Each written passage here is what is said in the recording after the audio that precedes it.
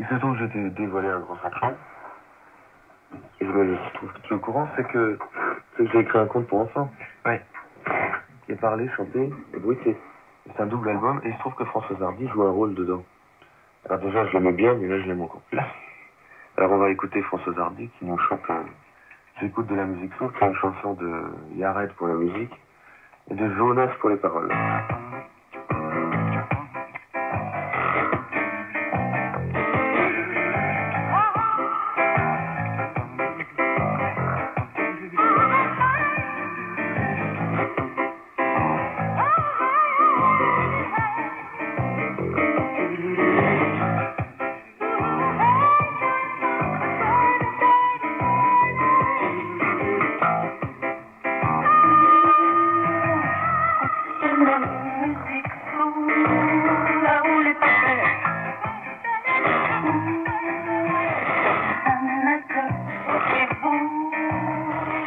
don't